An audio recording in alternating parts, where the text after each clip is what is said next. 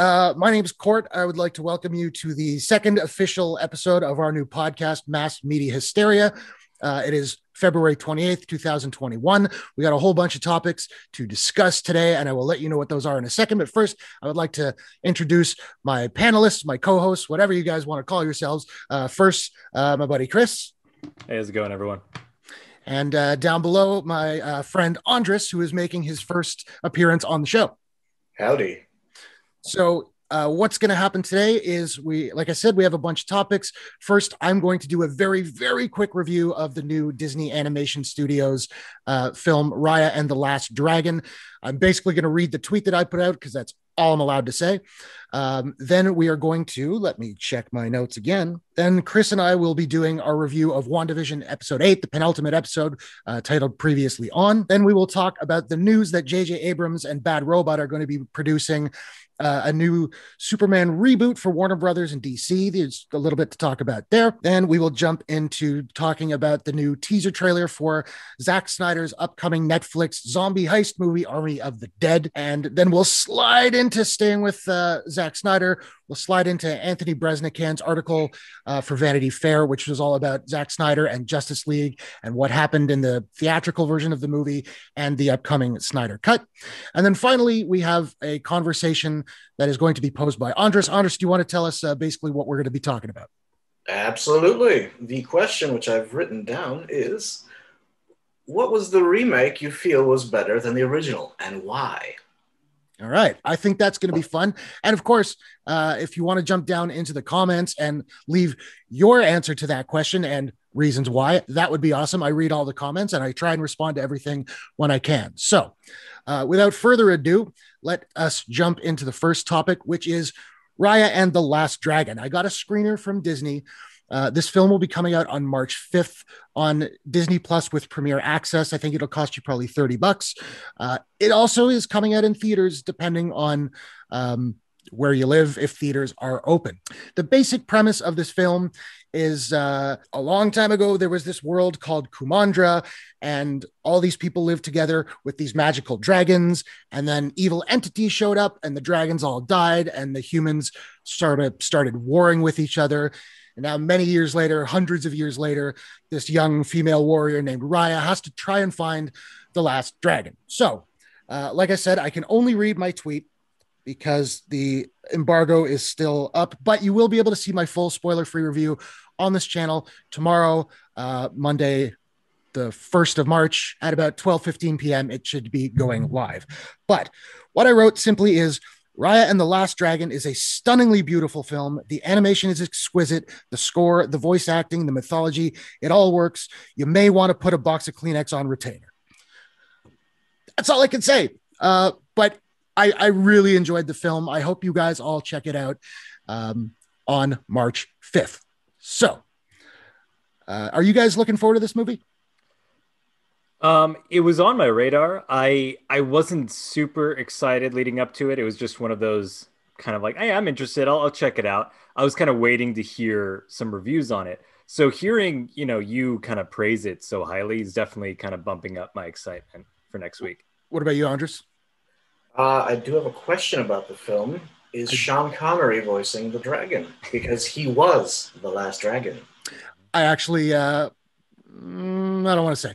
Um, he is not in the film. Uh, I, I, can talk about the cast. Uh, the dragon is voiced by Awkwafina. Okay. Uh, we also have Kelly Marie Tran is the, uh, of course, Rose Tico from the last couple Star Wars films. She is she does the voice of Raya.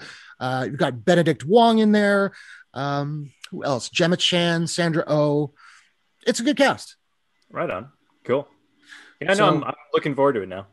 Nice um, I'm looking forward to hearing your thoughts. Maybe we'll do like a full review next week. Yeah, once we can cut, talk a little more in depth in with it, I suppose. Right on. Yeah. Okay, so let's uh, let's talk Wandavision. Cool. Um, um go, go no, go ahead, please. Oh, um, I do you have it queued up? I, I'm not I'm not good at lead-ins, I suppose. Okay, well, uh, I suppose that uh, again, this was the second last episode. It was called previously on. It was essentially like a flashback episode. Um, we get a cold open, which I'll touch on in a second, but then it's basically the witch Agatha Harkness walking Wanda through all of her past traumas to try and understand how Wanda got the power to create the hex, to create this world and control it. Agatha even says something like, um, I can't remember how she says it, but she, she wants the power to control such a huge thing. Mm-hmm. Uh, the cold open, uh, I will say, was kind of the biggest issue of the episode for me. It's it's a big flashback going back to Salem, Massachusetts, 1693. It's a witch trial. Uh, Agatha is being tried by other witches. So it's a literal witch trial. And as soon as I saw that title card, uh, Salem 1693, I got absolute chills. And then the scene did absolutely nothing for me. What did you think of the scene? Uh, yeah, I, I, had a very similar kind of reaction as soon as the title card came up. You know, Salem, Massachusetts, 1600s. I thought that was awesome. It's like, yeah, let's let's kind of bring in some some actual um, you know witchcraft lore in throughout history. Uh, it's always like a fascinating time period, and I was curious to see what they were going to do. I also thought it was like a fun little twist when they asked, like, you know, uh, Agatha, are you a witch? And she's like, yes. You know, it's like it's it's essentially kind of a, a twist on on the actual witch trials that occurred at the time. Uh, but then, I, as I mentioned to you off off the show, it kind of lost me in the sense that it eventually just turned into this big light show and it felt mm-hmm. very Marvel, in which I know it sounds stupid because this is the MCU. This is very much an extension of uh, all the films leading up to it. But the the show up until this point has been so unique, mm-hmm. especially compared to other MCU properties. Um, so when all these witches just started shooting these, you know, energy beams of light out of their hands, it's like, okay, this feels very kind of superhero-y. This feels like something that we have seen dozens of times, countless of times within the MCU. Right. So I, yeah, it, it kind of was like, oh, what are they going to do with this cool setting? Nothing. And it, at the end of the day, unless it plays in a bigger part uh, in the next episode, it's kind of pointless too. It's that doesn't really add to much. That that's kind of how I feel. I mean, like, what did it tell me that like Agatha's really powerful? I already uh, knew that. Like, yeah. if again, if this does pay off in the finale, awesome, cool. I, am here for it. But uh, mm-hmm. yeah, I didn't. I didn't feel like it informed the character in any way that I, I sort of didn't already know.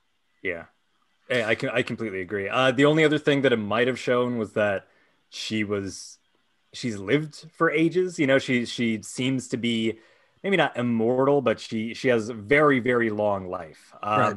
Uh, and and I get that it's you know in general you want to show don't tell, but at the same time there might have been a better way of of showing it than like I say it was. I I don't want to make it seem like this ruined the entire episode because it was very brief. It was what maybe two minutes, two three minutes, so, something like that. Yeah. So it's not like it brought everything to a screeching halt, but it was kind of like. Eh. And and I should say before we move on, and this is on me. Uh, yeah, this is a spoilers review. I probably should have pointed that out earlier. I will, I will, I will put a something on the screen uh, before we yeah, put this live. But for sure, just spoilers and flashing lights. I'll put it in the description and all that. But Perfect. yeah, so so that opening didn't do much for me. The one the one thing, and I did not notice this on my first viewing, but I caught it the second time. Uh, when you know the head of the witches is Agatha's mother, um, and when she's kind of when the mother is really giving it to Agatha, there is a shot where she's got a sort of the magic crown thing, which did look a little bit like the Scarlet Witch headdress. So it kind of begs the question again at the end of this episode when Agatha says, You are the Scarlet Witch. Is the Scarlet Witch, is that uh, some like a mantle that people take on? So was yeah. her mother, was Agatha's mother the original Scarlet Witch? What do you think about that? Um, I, I noticed that too, that there was like a crown and it looked similar to kind of the headpiece that uh, Wanda wears from the comics that we also see a bit of a glimpse of uh, a little bit later into the episode. Mm-hmm. Um, so I thought, yeah, there has to be some sort of connection. Like maybe it's a literal kind of crown of like, you're the queen witch, I guess. I, I don't know the exact lore that they're going to go into, but I noticed that too. One thing I'll say about uh, Agatha's mother being the Scarlet Witch is one that her energy color was blue, like my back background light. Right. Um, and I think that there's like a literal reason why they call Wanda the Scarlet Witch. Okay. And and Agatha even said something along the lines of towards the end of the episode that it's like you're supposed to be a myth. Um, so I think that uh, there is a connection in the sense that the queen, the mother witch, was maybe kind of the head of that coven, and so she had kind of a royalty. She was the strongest at that time, but uh, the Scarlet Witch might be something that's even more powerful, something that's that's stronger than than anyone's ever seen before. Okay, and so before we go through uh, any more plot points, do you want to do you want to just give me your sort of overall feelings on the episode? Yeah, definitely. I um I've seen it twice. The in the first time, I couldn't help but kind of shake this feeling of okay, I, I just want to get to some conclusions. I which sounds impatient of me, but I it because the title's literally previously on, and we're kind of going through stuff again, uh, some stuff that we know, some stuff that's kind of new and revealed to us. But I was still. I, I think I've, I've just been teased one too many times with this show, and that I'm I'm really kind of I'm so thankful that there's only nine episodes, that there's going to be a conclusion next week, although I'm not sure how they're going to wrap all of it up. Um, so I was a little bit impatient during the first watch through of this episode, but the second time around, I really appreciated it. And I think that in repeat viewings, this is probably going to be a standout episode because it's it's quite good. It's there's a lot to like about it. There's a lot of um, the main thing, the main takeaway that I got is that this is the best that Elizabeth Olsen's been in the show. Um, I, I, hands down, absolutely agree.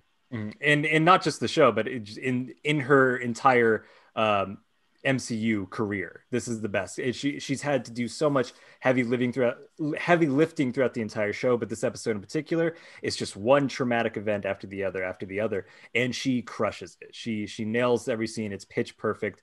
Uh, there's this particular moment later on um, that well i'm sure we'll touch on that is just like heartbreaking just the, her delivery and and the impact of it. Um, and that's really what the episode was. It was uh, like the title suggests it was going through is agatha kind of working in a sense as like an audience avatar to an extent of exploring what led wanda to do what she did like create this hex because that's one of the big questions that we've had from the beginning is what is this hex? Um, who created it and why? And why with the tv shows? And they do answer pretty much all of that in this in this episode and the short version of it is that that the girl's been through a hell of a lot she's just it's just been one traumatic event after the other um, it's been a rough life for her and she's lost pretty much everyone that she's loved or cared about in her life and yeah, I think that'll make anybody, you know, um, have a mental breakdown. I, I, it's one of the more sympathetic and empathetic characters of the MCU now. Just it felt, I mean, as, as regardless of how heightened it is with um, the magic and the superpowers and and and everything, it felt very real as as some as someone going through grief. Yeah, it was it was very much a character study and like a meditation on grief. Mm-hmm. Absolutely. And uh, uh, to sort of piggyback on uh, you're saying this was the best work she's ever done. I also think this is the best written episode of this entire series. There was, yeah. sorry, uh, let me just say, and we'll we'll get to it, but there was one line in this episode that I've been thinking about it. It might be my favorite line out of all of the MCU that I can think of, but we'll get there. Mm-hmm. Oh no, I was I was just agreeing. I that I think that um, the dialogue, especially in this, was was just spot on, and it was much more grounded and it, not just grounded but it was it, there was more weight to it than you would you, what's kind of accustomed to the MCU and I like the MCU a lot but it really the dialogue switches between expositional dialogue and kind of funny quips to kind of keep the the levity up. This this got heavy and it went to places that were real. Um not like I said not just superhero stakes not just stakes of we have to save the world. Very real grounded issues that I think a lot of people can can relate to on a personal level, which is surprising for an MCU show. Right. Mm-hmm. Um, well, so yeah, we'll just I don't want to take too much time on this episode because Andris is Andris doesn't watch the show, so he's just kind of sitting there. Yeah. But uh, we'll go we'll go just quickly through a, a, couple of the main beats. So the first flashback is, of course, uh, back home in Sokovia as a kid with Pietro and her parents and they're going to, you know, people have theorized that maybe Wanda grew up watching American sitcoms. Now we know that's true. They're having TV night. And I know for me, as soon as the episode or as soon as the scene started, I, I, I was certain I was like, this is the scene where the bomb's going to go off. And I was waiting for it. And I have to say, to their credit, they timed it in such a way that it still, even though I was totally waiting for it, it startled the heck out of me. Oh, absolutely. I I don't know what I really expected. I thought that maybe there would be more warning. There'd be more of a warm up, like maybe you hear uh, air sirens that you know bombs were coming. But yeah, so when they're when these two, it's it was it's a brutal image too. It's just two young kids watching TV, and boom, they just get rocked by a, a literal explosion. Mhm. And it's not graphic, but it's still like that's that's dark, man. It's heavy. Yeah. And then, of course, we see uh, what they talk about in uh, Age of Ultron, of course, the Tony Stark bomb coming down that just kept beeping and never went off. And they were sitting Mhm. amongst it for like two days. But we learn that actually the reason why it didn't go off, it wasn't a dud. Wanda sort of subconsciously used magic that she didn't know that she had to Mhm. keep them safe. I thought that was really interesting.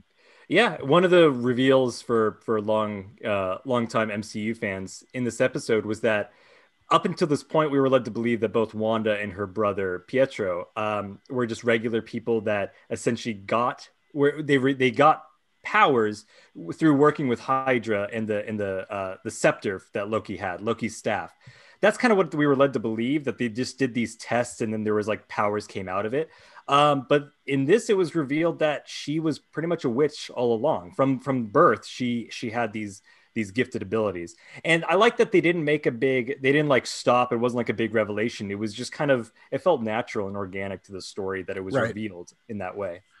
Well, and then of course we the the sort of next flashback is is what you were talking about the experiments at Hydra, and I thought it was really cool where you know the Mind Stone came to her, Mhm.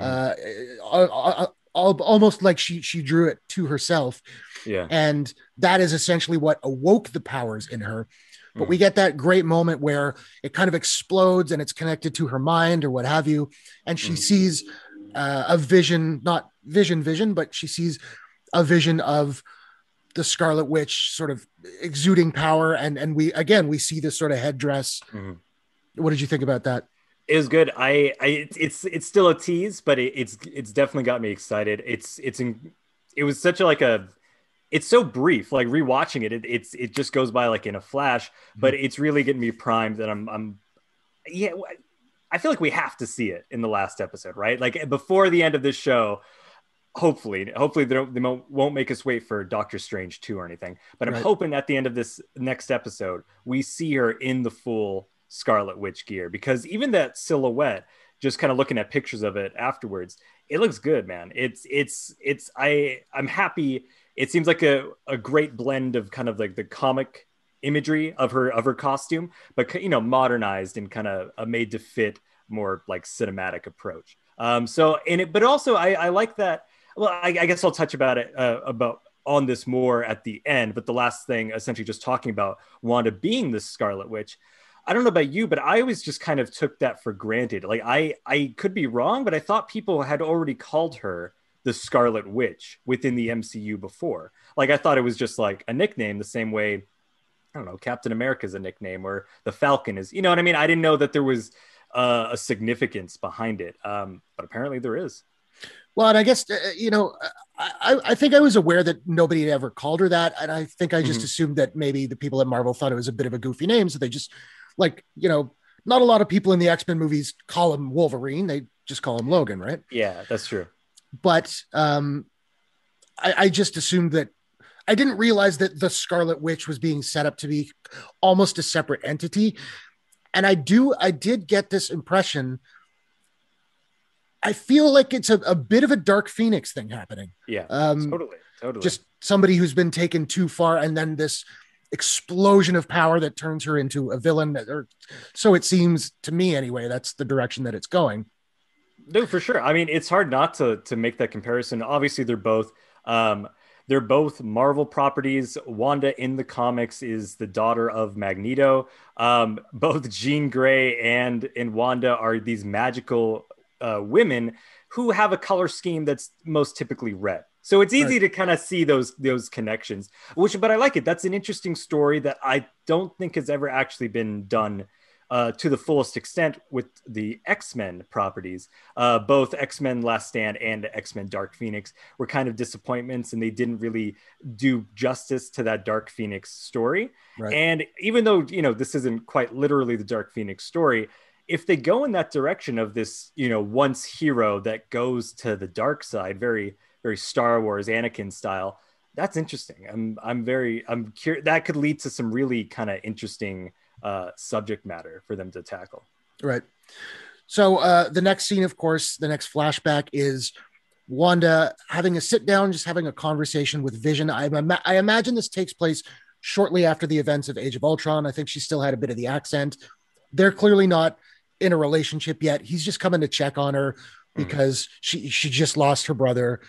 And this was far and away my favorite sequence of the entire episode. It was so beautifully, elegantly written. Uh, they're both so good. Paul Bettany and Elizabeth Olsen are both so good in the scene. Mm-hmm. She's talking about how grief is a wave and it keeps knocking her down. And every time she thinks she can get back up, it hits her again. And then Vision says the line. This is the line I was alluding to earlier. Uh, and it's just it's just beautiful. I actually had to when he said it, I had to pause the episode because I was like, I need to digest that a little bit. But he says, "What is grief if not love persevering?" And that just that like got me. What did you think about that line? Oh yeah, it, it hit me the same way. Um, it it's it was really kind of I didn't pause it, but I, I really just like stopped to think like, did a Marvel show just say this? Like like I said, this is isn't this a series about punching bad guys in in silly costumes? And it's this is that's some real stuff. You know, I as someone who's kind of you know lost people in in my lifetime, um, it's a real thing. Grief is I it's it's in, it's really impressive to me that that line kind of encompasses what how the entire show has been been affecting me to an extent that it's it's not kind of beating around the bush. It really is like we're gonna talk about grief. Um, this isn't we're not even gonna kidify it that much, even though it's on Disney Plus. I mean, obviously this isn't this this is not like R-rated material or anything like that. It's still family friend friendly to an extent, but it's like I said, I'm I'm really appreciating uh, Kevin Feige and the team behind this. Um, going to real places. I think that's that's kind of a key to keeping this uh, franchise fresh is making it relatable, not not just keeping it as like fun super heroics, but you know you keep that emotional connection with the audience with with real uh, emotions like this. Right. Hey, Andris, I, go ahead. I do have something to contribute. oh, go for it. Uh, that's that's a big thing with Marvel in general, though. They've that's like versus DC. It's Marvel as a property has always been more about relatability. I mean, mm-hmm. you, look, you look at Spider Man, you look at X Men, even Tony Stark to a degree. It's it's all about you do find these things to relate, and then it just makes it better. Oh, for yeah, sure. That's that's true. Yeah. Yeah, absolutely. my two cents. No, no, no. I appreciate that. Real quick before I throw it back to you, Court, it, it reminded me of a a lot of people don't like this one iron man 3 i quite enjoy it. One of the few things one of the things i was just going to say about it is that in iron man 3 uh, throughout most of it tony stark is going through panic attacks and having mm-hmm. anxiety. And it's not really played for laughs. And for as someone that's you know dealt with a lot of anxiety in his life i was like that's cool. Like it's iron man. He's like this he's this superhero and he's having panic attacks. He freaks out thinks he's having a heart attack. So yeah you're you're definitely right uh andris that they've they've done this before. Um which I appreciate. It's it's just it's kind of the the depths that they're continuing to go in is still surprising. Yeah, and I, I would agree. I mean, I've I've had anxiety attacks in, in my life, and mm. uh, they they played it very very real. It was very relatable, and and I'm I'm a fan of Iron Man three for that reason. Mm. Uh, I, I like it quite a bit more than Iron Man two, anyway. Oh yeah, same here. I but, actually uh, don't like, uh, or I don't hate Iron Man three either. I like it too. See, we all like it. I, it, I, it seems like everyone else on the internet is just bashes on it, but whatever. It's just it's uh it's because they keep thinking they ruined the the Mandarin, but if you mm. watch it carefully, people have pointed out they're like, no, the guy, um, I can't remember his name, the guy yeah. who was pulling the strings. Oh, Kingsley. Yeah, no, was, he. Hmm. Sorry, go ahead. Uh, he was actually the Mandarin. It's, oh, okay. He's just a different take on it. People point out they're like, no, he's got the dragon tattoo. Like, oh, you're so, talking about what's his name, Guy Pearce? Maybe uh, it's been a while since I've seen it, but yeah, me too. They're yeah. like, that's the actual Mandarin in the movie. They didn't ruin his character by making him a joke. It is so. Guy Guy Pearce, right? Memento. Am I saying his name wrong? No, uh, no, that's right. Yeah, yeah. Okay, so yeah, I'll just say I. So not Ben Kingsley, but Guy Pearce's character. I mean, yes. that'd be that'd be interesting. I, I, he it's supposed to, I guess, play into the new Shang Chi movie that's coming out. Mm. Um, so maybe we'll see the proper Mandarin at some time. Okay, but yeah, sorry. Back to back to Wandavision. My bad. Right. Um, yeah. So just moving forward, then I think uh, the next flashback, of course, is when Wanda goes to Sword, sees Vision's body, which they're dismantling. She wants to take him and bury him, uh, and Hayward won't allow it because he's three billion dollars worth of vibranium. Uh, you were saying her performance in this episode. You were saying there was one moment.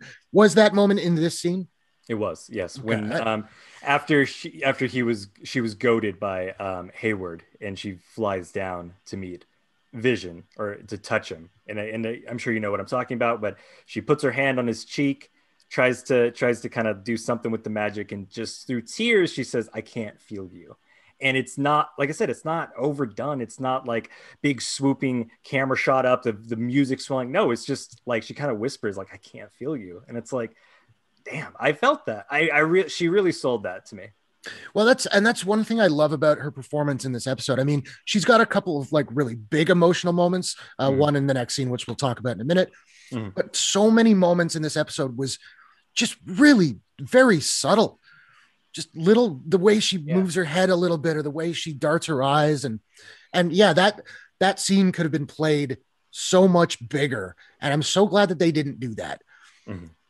um, also I, I wouldn't have made this connection but a friend of mine pointed out that it was actually a callback to infinity war uh, i think it's when they're trying to get the stone out of his head before thanos shows up and elizabeth or uh, Wanda just says to Vision, "All I can feel is you," and mm. so hmm. this was like a callback to that.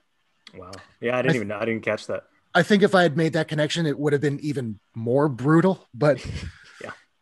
Um, so then, just quickly moving on, the final sort of flashback is we also find out that she did not take Vision's body. Like Hayward, as you said, must have doctored the footage or mm something. Mm-hmm. But she goes, she leaves. She drives to Westview. We see what Westview looks like in reality. We see their residence. It's it's it doesn't look like a great place. It's a little, a, little crummy. Why don't, a little you, rundown. Guys, get out of there. Come on. Yeah. Um, but she had this envelope in in the front seat of her car, and we're sort of wondering what that is. And then she approaches this foundation where a house will be built. She opens up the the envelope. It's a deed to the property, and there's a little note written that says to grow old in uh, V signed by Vision with a little heart around it. And uh, that absolutely killed me. Mm-hmm. And then, of course, uh, Wanda just, uh, this was her big emotional moment. She just, just crumples to her knees, screaming, and we see it happen. She creates the hex, she creates the house, she wills Vision back into life without his body. Mm-hmm. How did that work for you? Uh, it, it worked well. I was a bit of a jerk leading up to it though, because honestly, in her drive into Westview, where it just looked very run down, everyone was very sad and dilapidated. Everything, everyone, droopy faces. So when she opened the thing and it was like to to grow old, and all I could think about is Wanda saying like, "Really, Westview? Like you want to you want to grow old here?"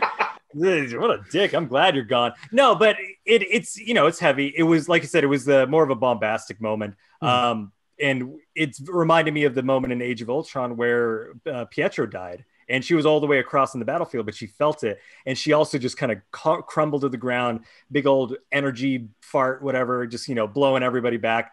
Um, but this one was it was instead of destruction, it was creation, and that was really right. interesting. Where she she built the new house, and we showed um, something that I I didn't think was going to happen because of the way the last episode ended off with the with the uh, music.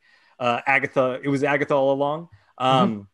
I thought that meant that Agatha literally did everything, but I guess not. She was just kind of like pulling the strings in a world that uh, that Wanda created. So it was confirmation for me that it's like, oh, Wanda, Wanda did all of this. So she, yeah, like like I said, did did that surprise you or like after because after last episode, did you think that it was literally Agatha doing everything or no? You know what? I, I, I probably would have, except for that one shot during that montage where we see uh, when she's at the barrier with Vision and it, it, we sort of see the other camera angle and we see that she's playing him that kind of just suggested to me that this show is kind of playing us a little bit so even mm when mm-hmm. it reveals something we can't necessarily take it as truth. So uh, that's, that's a good point. This That's- this particular this particular episode, like, or from here on out, I'm not going to just buy any everything until at least the season finale's over. For sure. That's a good point. Um, so then finally, basically, um, she creates Vision. They have their home. Vision says, you know, Wanda, welcome home, which was rough for me too. Mhm. But then we get the big the big climax of the episode where Agatha is basically choking out Tommy and Billy. That was a weird image, right? It was. Like, it was a little weird. I mean, I was into it. I was into the emotions. Then she comes out, and Kathryn Hahn, she's rocking some eyeshadow now. She's in a new outfit, and she's just choking kids. I'm like, all right, Disney, this is this is getting a little weird. Mm-hmm. uh, but of course, um, then we find out she basically says, "This is chaos magic. You are the Scarlet Witch," and that's that's the big sort of ending of the episode. Yeah. I how did that how did that work for you? Because that kind of like I said, I've read comics before. I've read Marvel comics um, and stuff, but I'm not that well versed them. There are people who know infinitely more about comics than I do. Um, so I knew that her moniker was um, Scarlet Witch. And I watched it with my wife, and even her at the end, where it was like, "You are the Scarlet Witch," uh, and then like cut to cut to credits. My wife was just like, "Wasn't she always the Scarlet Witch?" Like it didn't. I don't think it had that reveal the same way that it that it was intended. It reminded me, not as bad as this, but it reminded me of Star Trek Into Darkness, where Benedict Cucumberpatch is he's in the he's in the prison cell and he says to, to Kirk and Spock, I am Khan. But it doesn't mean anything because it doesn't mean anything to the characters and the audience is just kind of like, okay. That's kind of how it felt to me. It's just like you're the Scarlet Witch. Yeah, I was, Terrible film. Yeah, yeah, yeah. I, I've never seen it. I've never seen it. Really? Oh, okay. Keep it that way. Right. Interesting. I, I liked the first Abrams Star Trek, but I'm I, I've had a lot of people tell me the next two were not not good. So, Hmm. um, but yeah, yeah. When when she said you are the Scarlet Witch, uh, like you, like you and your wife, I was just kind of like, right, right. yeah. Like, no, yeah, no, duh. Thanks. All right. it was a it was a weird uh, moment to end on, but as typical with most Marvel stuff, wasn't the the last bit. There was Right. also a mid mid mid credit scene this time. Didn't know that the first time. I should have should have checked. I don't know why, but my second watch, um, yeah, th- there was a reveal that Hayward. This is this is what's interesting to me is that Hayward brought the actual body of of Vision, and then they rec- recreated it and used I don't know some some leftover Wanda energy, some some I don't know what to call it, but they use leftover Wanda, Wanda energy to rev up the White Vision, which is also from the comics. It looks kind of sinister, so there's going to be like a Vision on Vision action in the Some next hot Vision on Vision yeah, action. some hot hot action. Uh, it's going to be a Raunchy. Royal Rumble, man. I know. It, there's going to be uh, Vision, Vision, Wanda, the two kids, Mike and Ike. I forget what they're called. Um, uh, Agatha. Um, it's going to be a good old fashioned superhero rumble, I can imagine. But what the, the reason why it was interesting was that what what how do I put this into words? What did Wanda do? Like she she seemed to somehow create Vision, and he's not just an illusion because he he's shown throughout the series to be sentient and to have his own free will and and to be curious and want to leave. And the kids also seem to be real because if they were just illusions that she created, then you know Kathryn Hahn choking the kids out uh wouldn't matter. She wouldn't you know wouldn't worry about their safety. So how the hell did she create them? Yeah, I'm I'm still unclear. I think I, I'm hoping those are questions that are going to get answered in, in the finale. I'm worried about there being one more episode. I mean, like I'm happy that it's it's kind of wrapping up to a conclusion. There's a lot of loose threads. I think Right. that that I'm I'm afraid in in typical Marvel fashion. It's like, are you just gonna like answer some, but then keep a lot of them dangling for future stuff? It'd be nice to to have a little bit of closure on this.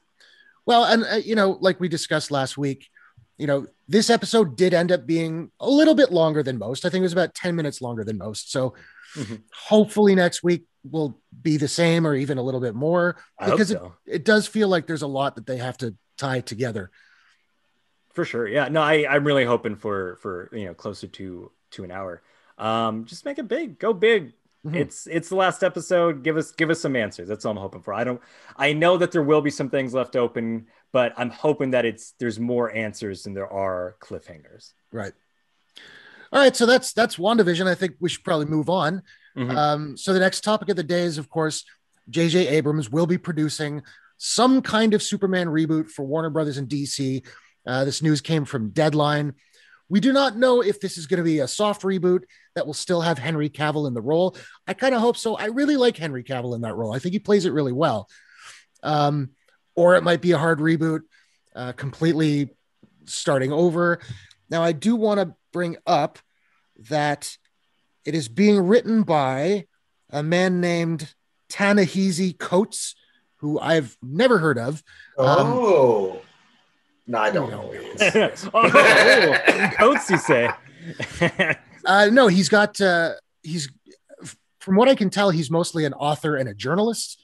Mm-hmm. Uh, the only film credit that he has is an upcoming Ryan Coogler drama called Wrong Answer. Okay. Um, I'm interested in anything Ryan Coogler does, so that sure. sounds cool. And it, I believe it's with uh, Michael B. Jordan as well. Nice, nice. So um, that's that's pretty much all we know right now. Uh, I think Andris, you were saying you had some thoughts though. Well, I, I just want to know, uh, like, is this going to be part of the DCEU? How much information do we know at this point? Very, very little. It's nothing really. Because it's it's one thing to replace like Jimmy Olsen or even if we want to go, I hate going Marvel, we're talking DC, but replacing the Incredible Hulk, kind of a background character. But you take a pillar that launched the DCEU and you mm-hmm. replace him. That's weird. I mean, they're already kind of doing that. Where they have the Robert Pattinson Batman, and they, so I think that uh, I, th- I don't know if it's Walter Hamada, but someone someone at Warner Brothers has said that like look we're just going to have you know different different things going on and they might explain it in the flashpoint movie where there's multiverses and everything now the new thing now is multiverses everyone's doing mm-hmm. a multiverse yeah. um so they might so they might explain it that way but there is already precedence i suppose with um, they're going to have the Robert Pattinson movies go forward, and that's not technically connected to the DCEU.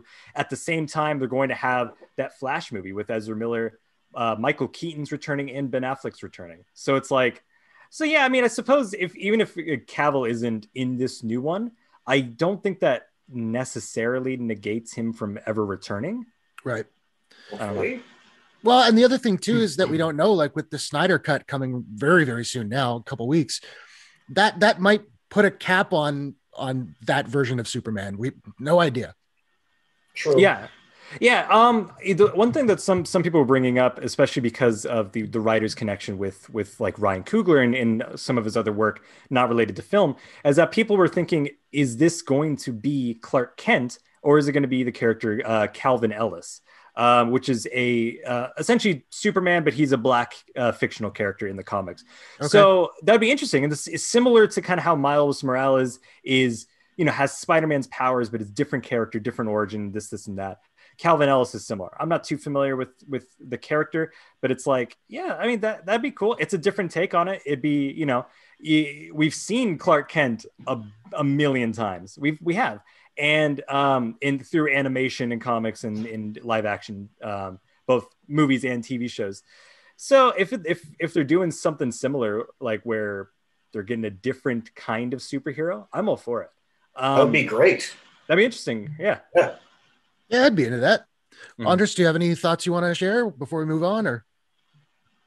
J.J. Abrams, you said he's, he's, producing. It doesn't look like he's directed. oh, well, the good thing about J.J. Abrams is no matter how shaky the subsequent films of any property he reboots are, the films he has a direct hand in tend to be really good. You know, like the Star Trek movie was pretty awesome. The hmm. uh, Force Awakens was pretty awesome. I it's, love Force Awakens. Unabashedly, I love, yeah, I love yeah. it. I love yeah. Force Awakens as well. I think it's I think it's great. Um, but once again, it's like it's another movie studio where it's like, do you know what you're doing? We've got a history of studios that don't know what they're doing. It causes problems, but I'll give it a go. Yeah, sure. Sure. All right. Well, let's. I, uh, oh, oh before we go, I was just going to say I I trust J.J. Abrams. I'm not a fan of Rise of Skywalker, but I from what I've heard from different you know sources inside, not that I have any connections or anything, but just like what's been reported, um, a lot of creative control was taken away from Abrams with the last Star Wars film. Um, so I don't really fully blame him for it. but most of his track record's pretty good. You know, um, the Mission Impossible 3, Super 8, uh, one of the Star Trek films, and Force Awakens. So even if he does end up directing it, I'd, I'd be down for it. And uh, uh, well, uh, two quick things, but I, I found this out recently. Do you guys did you guys know a movie? It's from like I think the early '90s called "Regarding Henry" with uh, yeah. Harrison Ford. J.J. Abrams wrote that. Yeah, Oh. first script. It's Yep. just a bushy, bushy eye, bush. What is it? Bushy tailed, bushy Yeah, eared. What Something. is the term? Something bushy. He was a bushy Something's kid. bushy. There was something bushy about him. Let me tell you. Um, but yeah, I, I remember finding that out. Um, it makes me just jealous. Uh, for s- spoilers for, for new for people who are watching who are more familiar with Court, I, I I'm a wannabe filmmaker. I, I, it's not just a film fan, wannabe filmmaker. So whenever there's stories about a bushy J.J. Abrams just writing a like a script that stars Harrison Ford when he was like I don't know like 12 or something. He was a young he was a young Yeah. kid when he wrote that. I'm just like oh man, what am I Or doing? like with my life?" uh, Quentin Tarantino in a movie store, and then one day they're Uh. like, "Hey, how about Reservoir Dogs?" Yeah, but yeah, and he just did it. So anyway, that's my I- event. and I do want to say just quickly about the Star Wars thing. I think, I think it'll be fascinating. In probably two or three years, somebody's going to make a documentary, and it won't be Disney because all the Disney documentaries about Star Wars are like, "How great is Star Wars?" Someone's going to make a documentary about this trilogy, the sequel mm-hmm. trilogy, and everything that happened, and I'm there for it. I'm can't down wait. for it. Absolutely. There's It's- gonna there's gotta be some weird behind the scenes stuff that Oh, we've yeah. just never heard before. Absolutely. Uh, just wait till they get to the last Jedi Ooh. chapter of that film. It's going to be entertaining. I don't hate that movie as much as everybody. I don't love it either, but uh, there there are good things about it for me, and there's a lot of schlock and a lot of boring. I will say this much. When I saw all of social media pumping articles out about porgs incessantly, I knew it was going to be a problem. Right. Because when you're focusing on how cute porgs are, you're like, okay, but what's uh what's going on? Oh, I see now. That's after you've seen it. And you're like, "Hmm." I have a lot of thoughts on the Last Jedi, um, but it's too much to go into now. Maybe I'm another maybe another time we can do a deep dive into Star Wars. Maybe that'll be a discussion. Like, uh, Yeah, yeah, yeah, for sure. Yeah, for sure. There's a lot to talk about. Right. So uh, next, uh, we'll just very quickly uh, again, Zack Snyder is making this zombie heist movie, which already has me very curious. Um, called Army of the Dead. He's doing it for Netflix. I believe it comes out in May.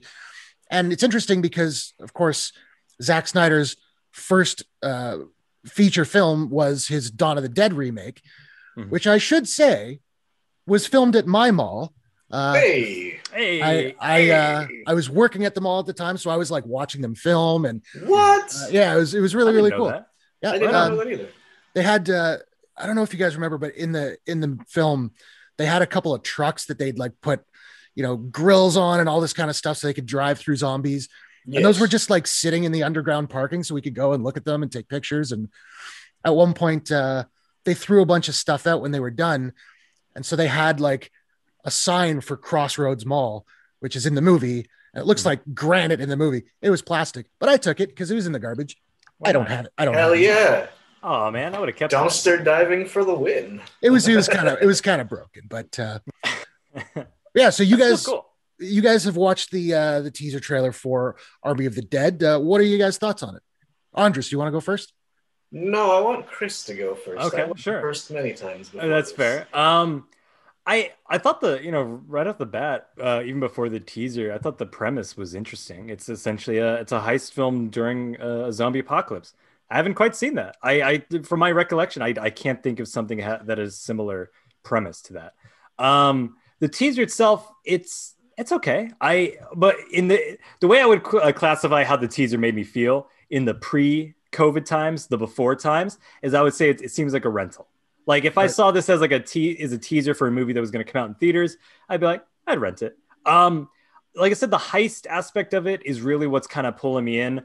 Um, zombies are fun. I love zombies. I'm not a big fan of when it's just a bunch of CGI hordes of zombies, like um, like World War Z or whatever. Mhm. Um, that doesn't do anything for me because it just kind of loses any sort of weight, any sort of threat because they just it just looks CGI to me. So that I'm not I'm not too keen on. Um, but like I said, just the heist alone. I mean, the heist aspect alone, and it's in Vegas. That sounds interesting. So I definitely, and since it's on Netflix, it's not going to cost me anything. I'll watch it. It's it seems cool. Andris, what do you think? I've got three thoughts on the matter. Um, my first one, I'm glad to see Snyder's doing something that isn't posting behind the scenes photos of Justice League on Twitter right. like he's been doing. Like, mm-hmm. thank you, do something else. Thank you. Uh, to me, in all honesty, I watched the trailer. I just thought it just looks like another bloated, generic, modern zombie film. Um, and I was talking to my girlfriend about this, and she pointed out this out. She's like, "Okay, it's a heist film, but like, if a zombie outbreak occurs, the heist is off the table. You don't care about a heist anymore." So mm-hmm. it's like at this point, without knowing what the plot is, because the teaser is nothing, I'm just like, uh, rental, sure. Well, and this this is one thought I had during during this teaser, is like, you know, if it's if it's zombie apocalypse, how useful is money? Yeah. Like yes. particularly in this trailer, like it looks like most of the world is zombie. You got that one that one aerial shot looking down. It, it was a very CGI shot for sure, but it looks like hundreds of thousands of surging zombies. How useful is money? Yeah. Right. So in the movie's defense, because it's just a teaser and I didn't look up that much, is this is it a, entirely the world uh, apocalypse is it just like for some reason vegas went to hell for for one weekend um we don't know so it's maybe maybe there's an explanation where it's like okay this is not a worldwide epidemic or pandemic it would be um it's it's just more localized so we could still get money and get the hell out of dodge and it could be useful because that what would happens? make that would make sense was that what happens in Vegas will hopefully stay in Vegas. Hopefully, right. oh, the hopefully stay with the with the CGI zombies. Just just having a mosh pit. Um. Uh, oh, go on. Oh. Uh, it's just one other thought. I, I I found this very striking, but the titles look exactly like Suicide Squad.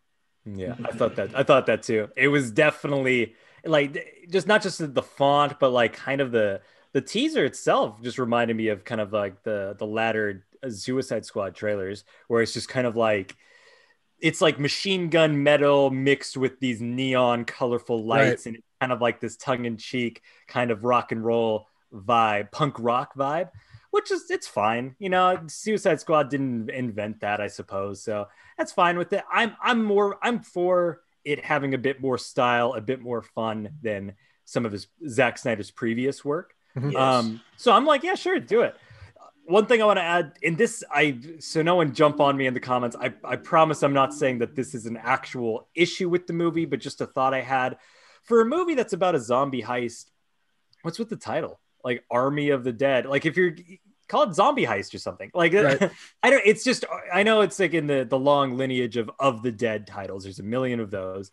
Yeah, but, but but if you're yeah. not George Romero, don't use of the. Dead. Well, he's not the only one, but that's that's that's fine. I get that, but it's more about the army of the dead. It just makes it sound like a zombie war movie, which is fine. But wouldn't you want something to kind of like sell what the I, premise is? I would love it more if it had a stupid title like Zombie Heist. Just or go heist, with it. Heist of the Dead. Is that Heist stupid? of the Dead? No, I like that. Um, in, in, fairness to Snyder, like as far as using of the dead, like I said, he, he did remake Dawn of the Dead, so it's kind of it's in his. uh That's his, a fair point. It's yeah. in the oeuvre of Zack Snyder, but he's he's he's earned the uh the rights to use it. Right. uh, I just want to make a quick. I'm I'm not a huge zombie guy. Like I like zombie movies. I love mm. 28 Days Later. I know some people Ooh. say it's not a zombie movie, but it's a zombie movie. But it's a they're, zombie movie. They're not undead, but but have you guys seen uh, Maggie? Oh, Schwarzenegger. Gyllenhaal? Yeah. No, no. Have you ever seen it? Have you seen Maggie? Um, no, I've I've been meaning to. I heard I heard uh Arnold was good in it. So I loved Maggie. I thought it was, it was it's Arnold Schwarzenegger and um oh what's Maggie her name? Gyllenhaal? Uh, and Maggie no. Gyllenhaal. Mm-hmm. Uh Maggie Brez- Smith. Breslin. Um Abigail Breslin. Abigail Breslin. Uh, Maggie Breslin. the, the only thing I didn't buy about this movie is that Arnold Schwarzenegger plays like a farmer in like Ohio, like middle a middle American farmer named Wade, and I was just like, no, sorry, no. he is, he is so thick Austrian accent.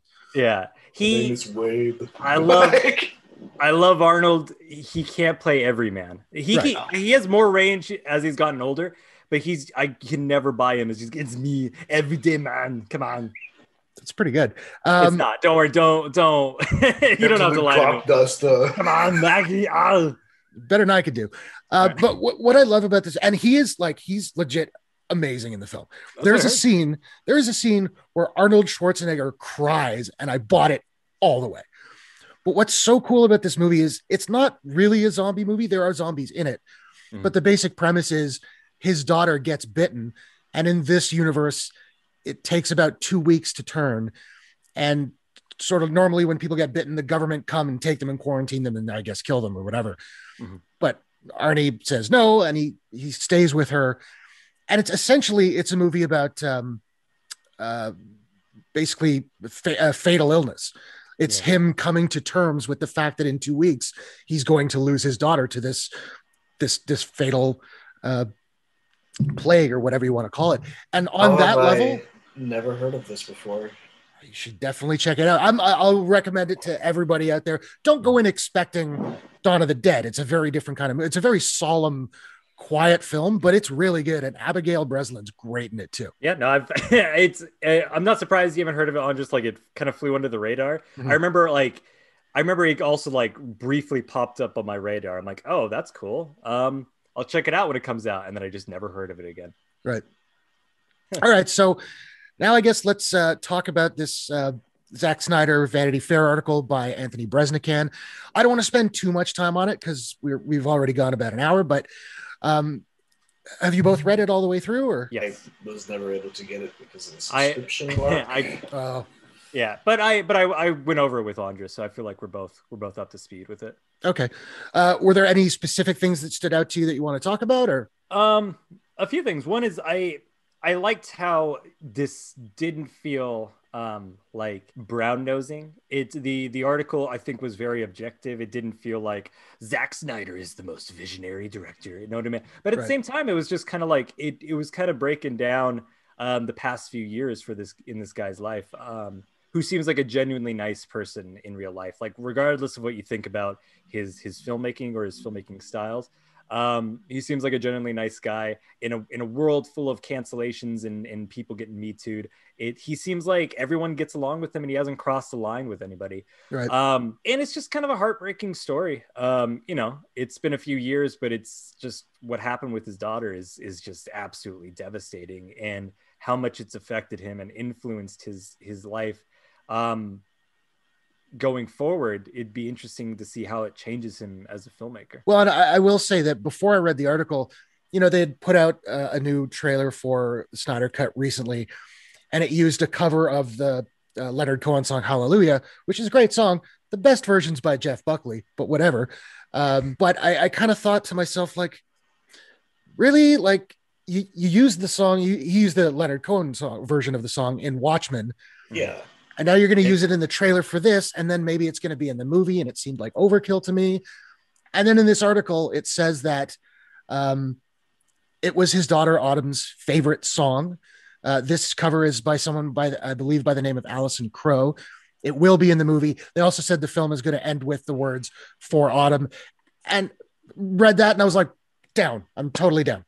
That's cool. I get it. I I gotta say though, that's kind of weird when you think about where it was used in Watchmen. Like, Yeah. Oh, his True. daughter's favorite song. It's true. Let's- and also that was like 11 years ago, so she was a kid. So it's like, oh, this is your favorite song. Here's this really awkward sex scene. Here's what's his name? Um, who's it? Patrick Wilson. Here's Patrick Yeah. Wilson's butt. Way to go. No, but that is sweet. I because I, I remember when the teaser came out and it had Hallelujah. I was like, I get it. He used it in a Watchmen. This feels a bit kind of on the nose. Um, but as a tribute to his daughter, that's pretty sweet. You know, Right. you, can't, is you can't deny that. Uh, so, uh, Andris, was there anything from what you guys talked about that stuck out to you? I don't know enough of the article to speak about it yet. Okay. Okay. Um, well, do you, do you remember when I brought up the thing about um, how Christopher Nolan watched it with uh, Deborah Snyder, and afterwards, Yeah. Christopher Christopher Nolan was like explicitly saying, uh, did I say Watchmen? Sorry, he watched uh, he watched uh, the Joss Whedon version of Justice League with Deborah Snyder without Zack Snyder, uh, and then afterwards he was like, "We can never show Zack Snyder. Like Zack can never watch it; it'll just break his heart." Right. Um, I, I thought that was pretty brutal. Like I didn't, it, Yeah. maybe it wasn't intended to be, but like just hearing that from other filmmakers saying that, like that's that's some- yeah. yeah. Well, and of course, how- before you jump in here, Andris, just just for context, uh, Christopher Nolan was, of course, a producer on Man of Steel, so presumably he and Zack Snyder have uh, a relationship. Yes. Yeah. Um. So, my question is, when hashtag release the Snyder Cut started happening, was it the fans that was that were doing that, or was that Snyder that was doing that? I believe the fans started it. I think Snyder sort of jumped onto it fairly early Okay. on. See, And- my my my biggest issue with that is the fact that, and I know the article does discuss, it does touch on this bizarre fandom that the DCE was cultivated, this bizarre, mm-hmm. vitriolic, unpleasant fandom. My big thing, my big issue, even with okay, I'm happy people are starting to sympathize with Snyder a little more when you realize because he knows who this fan base is and what they're like to stoke the flames of these fans by posting these behind the scenes photos years after the fact even if he's mourning. It's that's really that that's not that makes me really uncomfortable. And for him to start doing the release the snyder cut thing himself it's just like i understand it's a tragedy that he lost his daughter it's sad. It's whatever happened. It, you know, with the film, okay, yes, it sucks that he didn't get his cut. But if you're looking at this in a bigger picture, we're talking about a company's cinematic universe that they were working on. Even if he created it, it's still their cinematic universe. And for him to push forward and be like, yes, let me do my cut, even though the company has decided they don't agree with what he was doing anymore, they, they've moved on. They've gone a different direction now. For him to go forth and make his own cut, it seems really selfish and it seems really rude because it's like, this is bigger than you, man. I understand. I'm sorry this happened to you, but you know, it's just that's it's this is bigger than you. It's bigger than you, man and that's why I've been against this the entire time because it's like you have to look at the bigger picture. I'm sorry this happened, but you have to look at the bigger picture. Well, it's interesting because in the article, uh, it does say that I, I believe it's uh, Toby Emmerich from Warner Brothers.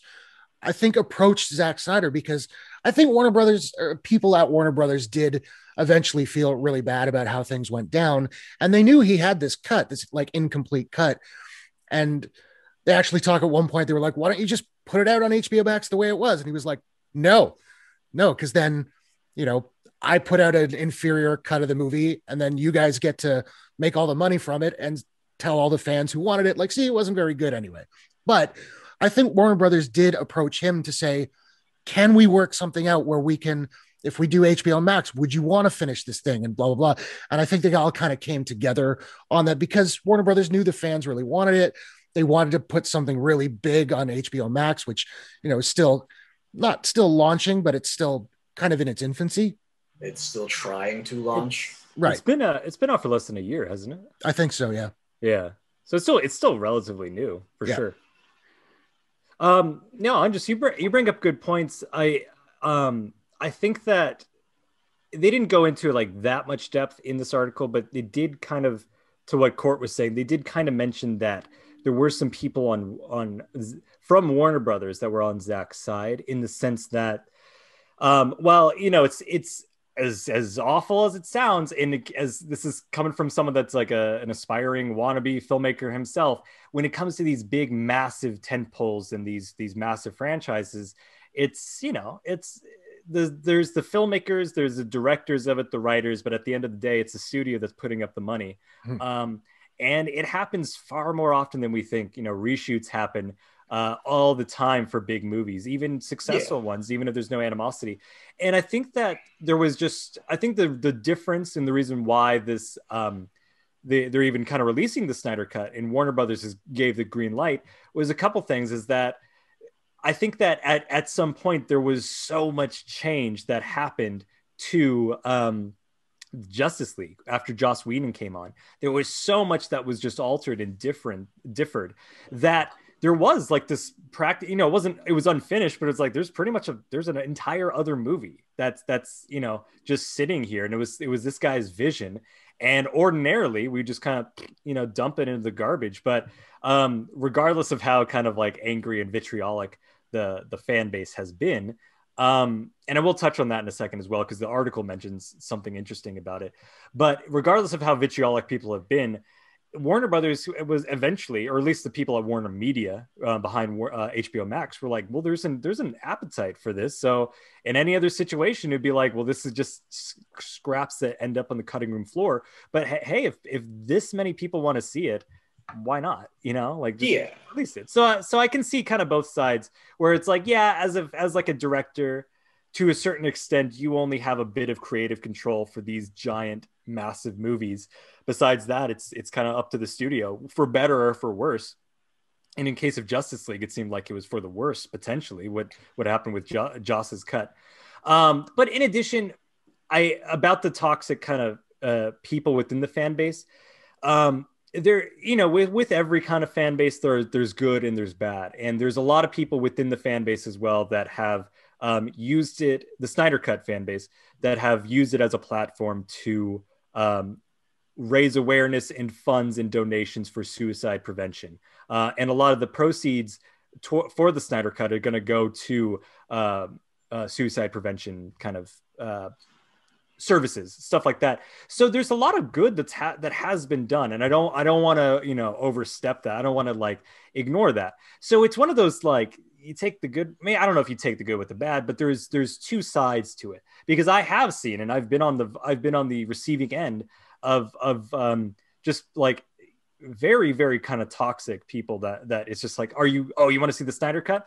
I'm like eh. Like if you're not as excited as they are they go right for the jugular and they they will like your mother did this with a dog and right. it's it's oh yeah. awful. yeah man. Uh but it's you know so i i think a lot of fan bases have that though. I mean it's it's a little different with the DCEU. They're way more brutal. I mean, they will go troll Marvel posts on social media, and you're like, dude, calm down, Jesus. Star Wars fans can get pretty brutal too, though. Yeah, I was. Yeah, oh, I mean, they. Mm. Well, dude, they they've they uh, brutalized Kelly Kelly Marie Tran online. Yeah. That you know, with just okay, repugnant of racial slurs yeah. They so there's that's there's, fair. There's talk there's toxicity and you're right. I mean it's like it's hard to like accurately gauge what is the actual most toxic fan base. It just kind of depends on how much you're seeing versus how much, you know, goes unnoticed by you. Yeah. Mm-hmm. Um yeah, no, if, if if Justice League weren't such a tent pole film in the DCEU, I probably wouldn't be as like resistant to it because it's it's not like an offshoot like, oh, it's one of the Iron Man films. You know, I hate bringing Marvel up in the DC conversation, oh, oh. but I did. But it's like get them in the comments, boys. Oh my goodness! But you know, because it's Justice League, it's like the centerpiece for the cinematic universe. It's like, but eh, you're trying to move. And yes, I do understand completely, as you guys are saying. Yeah, there is money to be made now, so yeah, they're going to do it. But yeah, it's it's it's like really uncomfortable to be teetering like that when you're trying to push in a different direction. So that's fair. No, it's a that's a fair perspective to have on it. Um, yeah, and I, I think it, it just kind of shows that there can be a whole spectrum and we can all get along guys you know there's people who are just like pulling their hair out they're so excited for justice league snyder cut and then and there's people who are like mm, it's kind of weird to me man it's kind of icky that this whole the way this whole thing happened and yeah. to an, to an extent it's it's a nice it regardless of kind of how it came about it's good that he he's Snyder's able to kind of finish this. Um, that's a that's yeah. a rarity for filmmakers. There are director's cuts that have happened, but the just giving the reins back to the to to this to his baby, even though it is this big studio film, still feels still seems very personal. Every film is very personal for a filmmaker. Oh, um, oh yeah so it's in, in a way it's it's still really cool i'm like that's that's also part of the reason why i'm interested i, oh, yeah. I uh, well before we it was announced that the actual Snyder cut was coming i was i was honestly uh, like interested in just seeing a rough cut Like if he just released it as it was without finished special effects, I would have been interested in checking that out just out Sure. of curiosity's sake. Yeah, just to see how different it was, right? For sure, yeah. Yeah. and it is it is interesting to note too. Uh, one thing it said in this article is that um, he's not making any money for this. Uh, Yeah. He sort of he said, uh, "Keep your money. Let me have creative control." Like now that if we're doing this, let's just do it. Let's go all the way. Mhm. So he's he's not getting a paycheck, um, which is kind of cool. Like just just to show how much it is, you know, his baby. It was worth it to him. Mhm. Yeah. I think that's cool. Yeah. No, that's that's very noble of him. Yeah, yeah, it, um, I I agree. Um, the the whole article was was was very well written, and I thought that it painted Zack. Like I said, it didn't seem like it was like bowing down to like the holiest of holy filmmakers. It, But it also wasn't it wasn't a Zack Snyder hit piece either, which oh, a lot of. Oh yeah, absolutely. It was it was very much treating him like a like just a real guy, and it Mhm. was it was talking about him more as a person and and how the how things the most the recent events in his life affected him and his family. Um, the dude's got a huge family apparently. It was like Yeah. going like he's got a ton of kids, and a lot of them are adopted. Uh, his daughter Autumn was adopted, which I think is is wonderful. Um, and and like I said, I it's I think that the one thing that came across as well is regardless of what you think about his filmmaking, as a personal level, it seems like nobody can say a bad thing about this guy.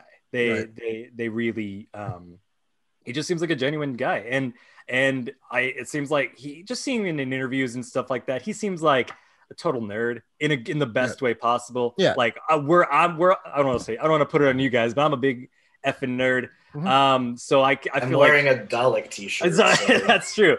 That's true. We got okay. I who am I talking to? You're right. Um, he seems like a cool guy. Like I'd grab a beer with him. That kind of like oh yeah. chit chat and stuff. Um, one thing, uh, Court, I want to get your reaction on. Well, I forget who it was, but it said it was an unnamed studio exec after they viewed the Joss Whedon version of the Justice League. Oh, I have the quote. Please, Ooh. please, sir, allow us. Dispense with the quotes. Um, so yeah, it was it was a, a studio exec who uh, asked to re- uh, requested anonymity, but this person said to Anthony Breznican of Vanity Fair, when we got to see what Joss actually did, it was stupefying. The robber on the rooftop, so goofy and awful. The Russian family, so useless and pointless. Everybody knew it. It was so awkward because no one wanted to to admit what a piece of shit it was. Wow, this is brutal. I love it. Um, yeah, man, it's it's it's weird how they they really were. The studio was pushing in that direction. Like, oh, Joss Whedon, he did the Avengers. You know, made Marvel a gajillion dollars. This is going to be money in the bag, baby. And then it was just like, what? Yeah. Dostoevsky, like what? I was just gonna say, like, oh my god. That's probably the Oh. biggest cringe moment in that movie. It's Yeah. it's funny because it's a Russian word. H- hilarious. What a what a goober. Um. such a goob. And uh i know there's we could we'll talk more about the justice league. I i didn't hate it as it took me forever to watch it. I didn't watch it when it first came out because like it seemed like it pleased nobody. But i watched it recently and it's just like okay okay. I, I have a lot of thoughts on it. I'm sure we'll get into it as we when we review the actual uh All right. Snyder cut as well. I'll tell you guys what. You let me know when we're gonna talk about it. I'll sit down and watch it. There you go. In There protest. appreciate it sir All right, so I think uh, we have probably just enough time to move on to Andris. If you want to pose your question, we'll have a little Yes. round table. All right, gentlemen, the question for you both and myself, because I'm involved as well. What is this voice? I don't even know. Uh, what remake do you feel was better than the original, and why? I guess I'll start. yes go for it Okay, I'm gonna do this.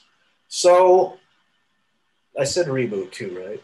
yeah, Yeah. It's, it's your it's your question Okay, I just want to make sure because I'm about to talk about a reboot. It's a reboot, you both know. So, in 1998, uh, Gus Van Sant directed uh, Psycho, starring Vince Vaughn. I'm kidding. I'm actually Okay, going to talk knew about. you were someone was gonna make that joke. Oh my god! I'm sorry for It was- screaming in I was about, mic. I was about to walk out. I knew I was like, someone here is gonna talk about '98 Psycho. Anyway, continue. It's so bad. I was. Uh, I'm actually going to talk about 2005's Batman Begins. Mm, mm. The reason I feel that one is because I, uh, growing up, I watched the Burton and Kilmer. Hello, the Burton uh, Schumacher films, and I never felt like it was a real city. It just felt like set pieces. Sure. And Batman Begins was the first time not only the the city felt real. The the Dark Knight trilogy, Gotham feels like a real city. Right. They did film it in real cities. That helps. But uh, it also was the first time I ever saw what I felt personally was the successful execution of an interesting. That was a weird way to say that. An interesting duality between Bruce Wayne and Batman. It- all, all the other films, I never was interested in Bruce Wayne. I was like, yeah, let's bring Batman on. And here, you know, Christian Bale's performance, uh, I'm pretty sure we're all fans of it.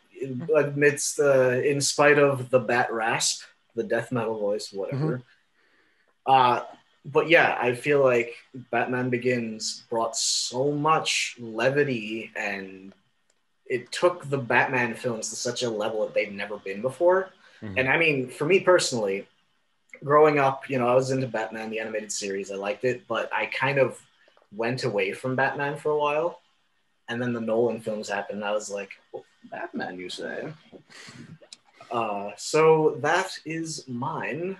Who wants to go next? Do you have any runner ups though? Because I remember we were talking about a, about a few runner ups. No, Possibly. No. no, just Batman. Okay. all just right. Batman. I mean, it's a, it's a great choice. It's a great Ins- choice. insert that clip of Michael Keaton from '89 saying, "You want to get nuts, Jack? Let's get nuts." Now you want to get nuts? Come on, let's get nuts. and I, I, I love Batman '89. I love Michael Yeah. Keaton. I love these Mhm. coming back. That's that's so cool. But it's Yeah. true. I, I remember the first time I saw uh, Batman Begins, um, with a couple of cackling buffoons sitting next to me, Murphy and Brendan, ruining the movie for me. But uh, no, I, I absolutely love that film. I think you're right uh, about Chicago. Like it really feels like a real place.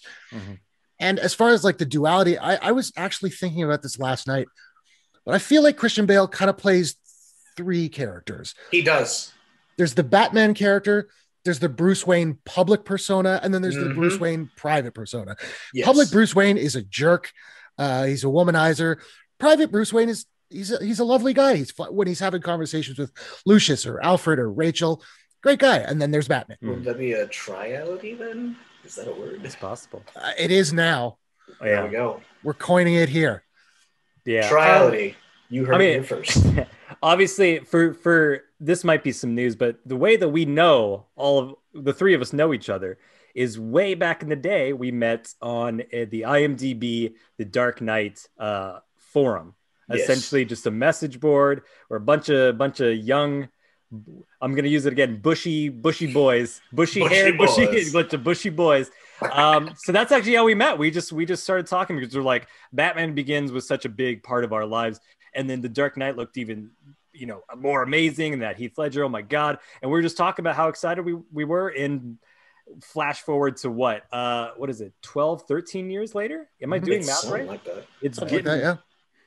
it's wild um so yeah I- batman, I- batman yeah go ahead I think I should just uh when you mentioned that we all met on a Batman forum, I think I'm gonna have to insert the clip of uh Lloyd Christmas going like, Man, you are one pathetic loser. No, it is like for for the it's it sounds weird. I've never done it with anybody else, like in the sense that I don't have any internet friends. It's literally just like this cool community from from the IMDb board that that just spawned. And I'm like I'm friends with with a lot of people still on like Facebook and everything. Yeah. That you know, it's no longer just hiding behind avatars and just uh just fake usernames. It's like, oh, this kid, this guy's married now, and this, you know what I mean? It's it's Right. it's cool. Um, so yeah, Batman Begins, great choice. Indeed. Thank you. Chris, you want to go next? Uh, yeah, sure. So I I'm gonna start with two quick runner ups and then the the proper one. The reason why I was gonna say runner ups is that I like these. I love these two movies that are runner ups, but I felt I'll you'll see why I chose the the the top one. So um. One of them is the 1978 version of Invasion of the Body Snatchers with Mm. Sutherland. Fantastic film. I absolutely adore it. It's I rewatched it very recently. Still holds up. Uh, very anxiety inducing. Um, I personally like it more than the 1956 original. Uh, but the 1956 original is still great. It's still a classic. It's very, it's you know similar plot, but it's it's very different in tone. Mm-hmm. It it took what could easily could have been you know a B movie plot and it treated it very seriously. So that's one movie where it's like I prefer the remake, but if someone says they prefer the original, I'd be like, okay, that I I totally understand. Um, another one, the, my other my number two spot runner up is The Departed. I love The Departed by Martin Scorsese, 2006, which is of course is a remake of the 2002 Hong Kong film Infernal Affairs. Infernal Affairs is really good. The Departed is fantastic. Um, it's about 30 minutes longer. It follows a very similar plot. It's about 30 minutes longer, but those 30 minutes are used to benefit and to heighten everything. It adds so much more depth to all of the characters. Um, it's the the original Hong Kong one is still a solid flick. I would recommend it, uh, but just for me, I would still give it to The Departed because it's like you got Leonardo DiCaprio, Matt Damon, Jack Nicholson chewing the absolute scenery out of oh, everything. Yeah. Fantastic, and it's Scorsese, man. It's so good. Um, but the reason, but my number one, and the reason why I chose it is because it's it's one of the few remakes where I would actually say don't even bother with the original, and that is 2001's Ocean's Eleven by Steven Soderbergh. Good one. A lot, a lot of people don't even realize that it's a remake, but there's a 1960s original film uh, with Frank Sinatra, Sammy Davis Jr., and Dean Martin. It was the, Rat Pack. The, what's yeah, the, the, the, Rat the Rat Pack. The Rat yeah. Pack, exactly. Um, it's not confirmed, but it's my theory that at that time, because it was 1960 and it was in, in production late 50s, is that the three of them had a residency in Las Vegas where you know they would do, perform shows. And I feel like some exec was just like, well, we have them here already. They're in Vegas. They're already together. Let's just make a movie. What should it be about? I don't know, a heist it's nothing. It's it's honestly nothing. Nothing. Um, to put it into context, I adore the the 2001 Ocean's Eleven. Oh, me it's too. honest. It's honestly one of my favorite films of all time. Um, I'm not saying it's like the greatest thing ever, but as far as rewatchability, I could watch it over and over again. Um, it's such what's, an, what's that? Sorry, I was going to say it's just the the one word that I've always sort of associated with that movie was swagger. Like the oh, movie yeah. just has such swagger, you know it's so cool. It, everything's so slick. Even about 20 years later, it's so stylish and it's mm-hmm. it's not phony. It's it feels like this is cool. It was cool then. It's still cool now, and it's you know Clooney and Damon and Pitt, you know, at the height of their careers, and it's it's fantastic. The original, um, for those who haven't seen it, because like I said, a lot of people are surprised that it's even a remake. It's it has Dean Martin, Sammy Davis Jr., and Frank Sinatra, but they don't do anything. The rest of the Ocean's Eleven cast I couldn't even tell you who's who's on it, and I couldn't tell you what they do. The the the remake, you know, that gives everybody their own personality, every member of the team their own personality, their own skill set. Where it's like Don Cheadle, you know, he's like the bomb expert. Then you get the technician guy, and everybody has a part that that you know they're they're a, a cog in the wheel. They're pieces in the of the puzzle that fit together to pull off this awesome heist the tiny acrobat. The tiny acrobat, it's which is awesome. He does his own stunts, which is killer. Um, but the, in the original, and um, this is not a hyperbole, the actual heist, which takes barely any planning, is they're trying to you know rob multiple casinos at the same time. They they shut off the power to five casinos. They walk in to the safes, get the money, and they're gone. That's it. There's no plan. Wow. There's no there's no Sounds... style. There's no like tension. There's no there's nothing. And the movie is just so dull and boring. And for anybody sounds, oh, sounds very riveting. It's not, yeah. It's it's so dull and boring and it's it just um it's just not it's just not worth it. It really just feels like they had these actors, they wanted to put them in a movie together and everything afterwards just was an afterthought. Um, it sounds like a '60s movie for sure. Well, I love I love '60s films, and there, well, yeah. there's some great. All right, I personally love '60s films. Um, so it's so I don't want it to come across as like, oh, it's old, so it's boring. That's no, no, no, no. I know, I know what you're saying, and you know what I'm saying. yeah, no. And so and to put it in context, like I said, the 1950s invasion of the Body Snatchers, crack and pace. Go check that out. 1960s hmm. Ocean's Eleven snooze fest. But the 2001 remake, it's just so cool. Steven Soderbergh's direction is is sublime. It's just so stylish and it's so just spot on. I even quite like the sequels, and I know, I know a lot of people don't. People hate on Ocean's Twelve. I hated fun. Ocean's Twelve. That's hated fair. it. A lot I of kind of like the third, the third one, but twelve Yeah, didn't work for me. They're back to Vegas, so it's pretty cool with the third one. But the original, you can't top it. You just watch it. It's it's a, an enjoyable time from start to finish. The the second the number one thing about the second one that just killed me. It just kind of ruined it for me. And it's not even a big thing, but like the whole thing about how Tess looks exactly like the actress uh, Julia Roberts, Mhm. and then they make her pretend to be Julia Roberts to talk to Bruce Willis.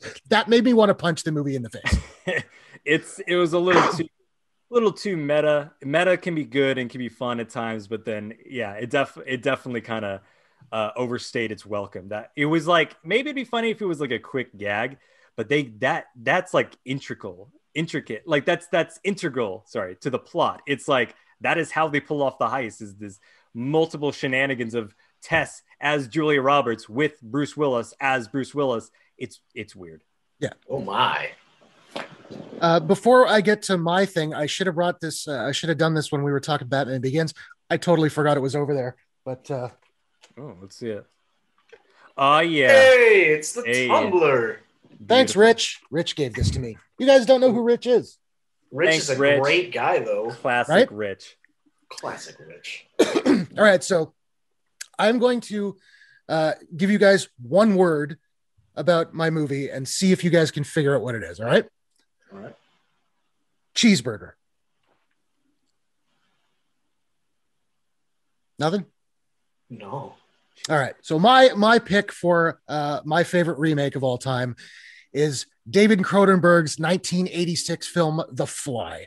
Mm. Oh, damn it. Why I figured I figured you would know that one, Andris. Because Jeff Goldblum, Looks like a patty. no, he pukes on the burger and he's like, Oh, when he's mutating. yeah. There- Damn it. There is that, but there actually no. I think he pukes on. Uh, I think they're powdered donuts actually, but there are a couple scenes where he and Geena Davis's character go on dates, and she'll be like, "Let's go, cheeseburger," and then they go have a cheeseburger. And uh, one thing, I, one thing I'll add is again shot in Toronto, not very, Hey. obvi- not very obviously Toronto in that movie, but Mhm. so I have seen the original 1958 film. I saw it as a little kid, so I don't remember it terribly well, but I remember it being, you know, kind of campy and goofy, kind of like a Twilight Zone episode, but a little bit sillier. As I recall, Vincent Price was in it. Yes. Mhm. And Dave- not as the bad guy. Right. Yeah. David Cronenberg went in a very different direction with this.